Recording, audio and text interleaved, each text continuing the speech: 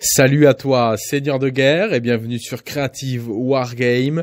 Euh, cette période de confinement va me permettre de me poser un petit peu plus sur la documentation Games Workshop et donc euh, de vous parler de ce qu'on peut appeler la théorie Hammer autour du jeu, c'est-à-dire de théoriser un petit peu euh, les codex et les datas, euh, en attendant de pouvoir revenir autour des tables de jeu avec vous tous dans les tournois, etc., etc. Si vous n'êtes pas abonné à la chaîne, vous pensez à le faire, activez la petite cloche de notification pour que à chaque fois qu'une vidéo euh, pop, eh bien vous soyez avertis. Je vous rappelle que vous pouvez nous retrouver sur Facebook et Instagram. Vous avez aussi le lien du Discord en description. C'est parti pour cette vidéo.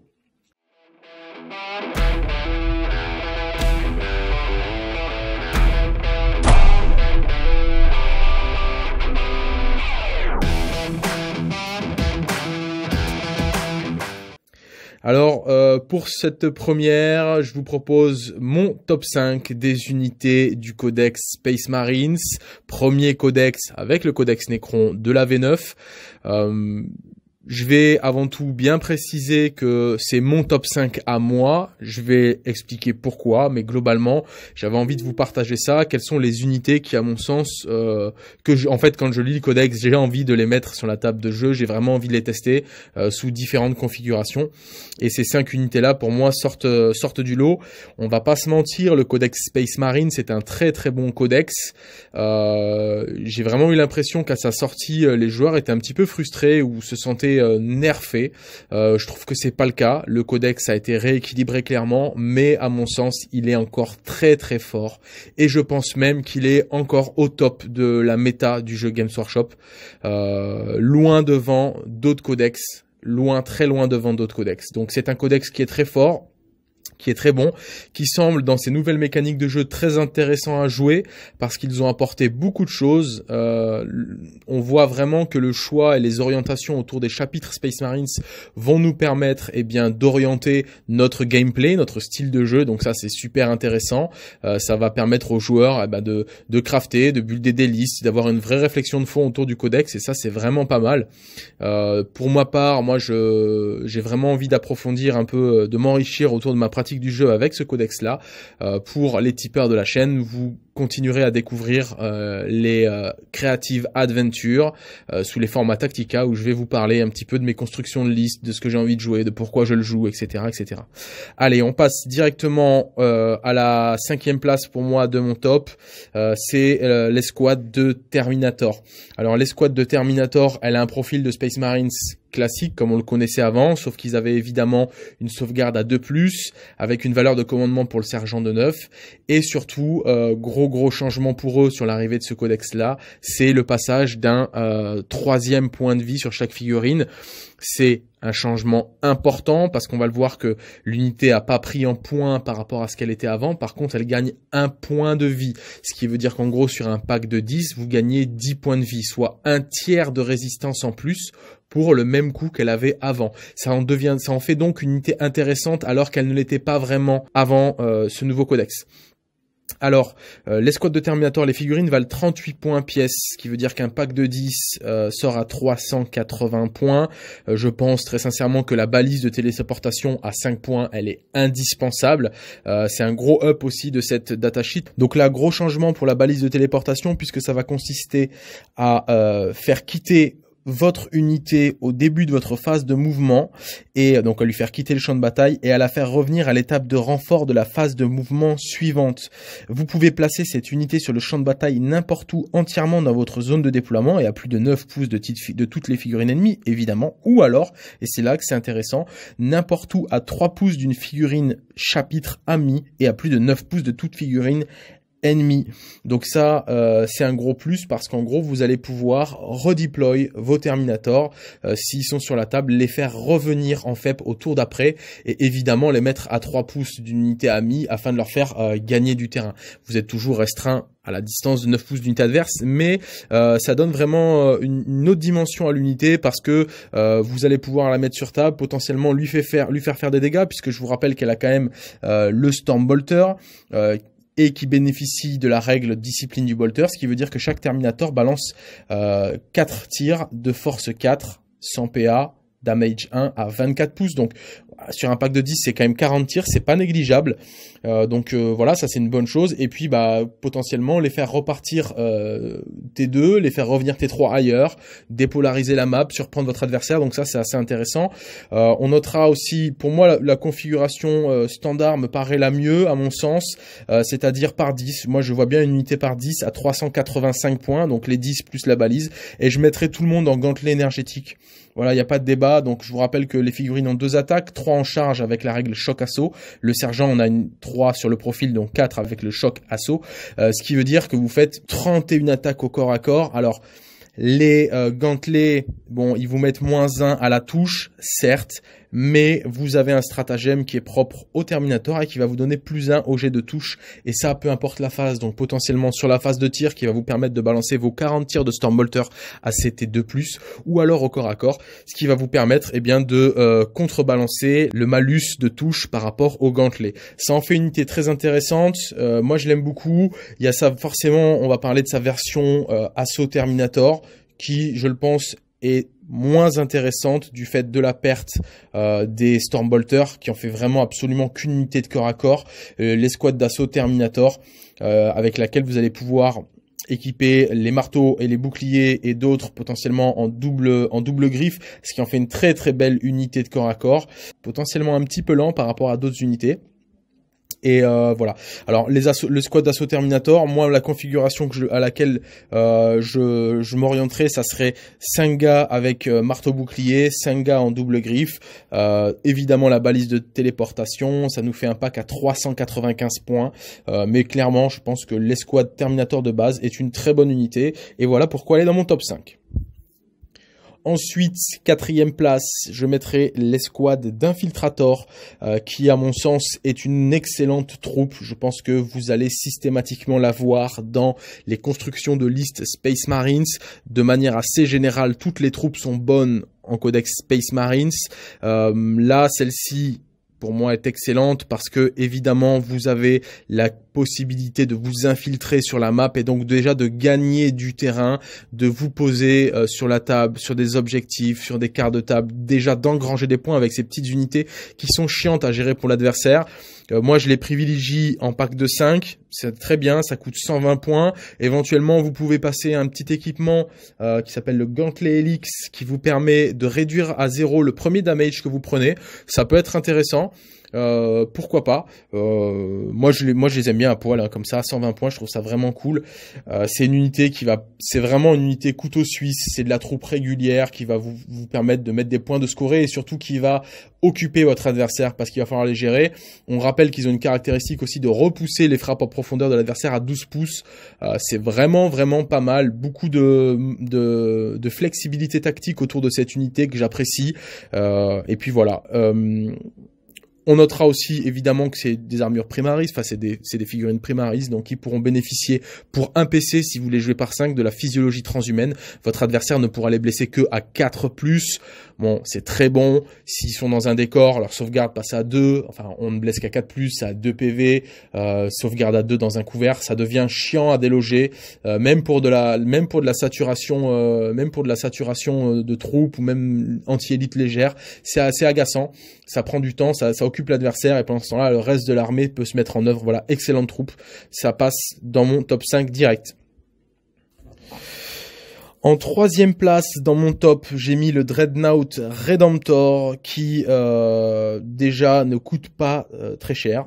Euh, c'est une figurine qui est assez accessible elle coûte tout équipée, donc avec le canon Gatling Onslaught euh, sous le gantelet ainsi que la nacelle, euh, bah, ça la coûte. Ça, ça, c'est une figurine qui revient à 185 points.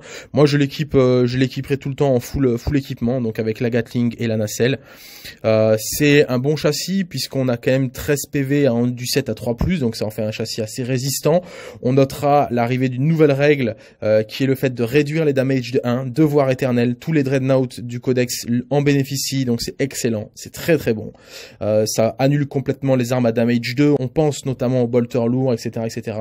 Euh, il y a pas mal d'autres armes et puis bah ça, ça réduit quand même pas mal la létalité des armes à multi damage. Donc ça, ça rend la figurine assez euh, assez résiliente sur la durée.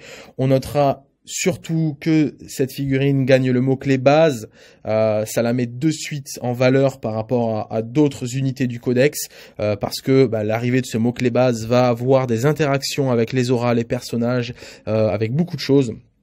Et, euh, et c'est hyper important d'avoir ce mot clé euh, dans la liste. Donc ça c'est c'est très très bon d'avoir ce mot clé. Euh, le Dreadnought Redemptor pour moi il est très bon parce que c'est une belle plateforme de tir. Il développe un bon nombre de tirs. je vous rappelle qu'il a le canon Gatling Onslaught lourd donc il tire à, à 30 pouces, euh, il envoie 12 tirs de force 6 PA-1. Il a sa petite Gatling qui va tirer 8 tirs de force 5 PA-1. Bon là, à 24 pouces. Euh, après, il va avoir des petites armes, lance-grenade Fragstorm, etc., etc. Et puis, euh, et puis, ça reste aussi un bon châssis au corps à corps, mine de rien. Maintenant que les châssis peuvent tirer dans les corps à corps, alors euh, celui-là, euh, il développe quand même une belle masse de tir, donc vous n'avez pas forcément envie de l'engager si c'est pour pas le one shot. Et en plus, euh, eh bien, au corps à corps, il a quatre attaques sur son profil. Il en a une cinquième parce qu'il a le choc assaut, évidemment. Euh, et surtout, euh, on va voir que dans le codex, il y a pas mal de ressources qui vont nous permettre de euh, développer son nombre d'attaques, le maître des forges, le Might of Heroes. Enfin voilà, il y a pas mal de choses qui vont permettre de monter assez rapidement le Dreadnought à 7, 7 attaques, voire plus sur certains chapitres. et ce qui en fait vraiment une vraie mule de corps à corps, hein, puisqu'avec son gantelet, avec son point de Redemptor, il tape quand même à force 14, PA-3, damage D3 plus 3. Le gars peut faire des taquets à 6 damage net, donc ça fait mal. Donc ce gars-là, pour moi, il est à la fois résilient, il est mobile avec son mouvement de 8, il n'est pas très cher parce que 185 points, c'est hyper accessible en termes de valeur de points.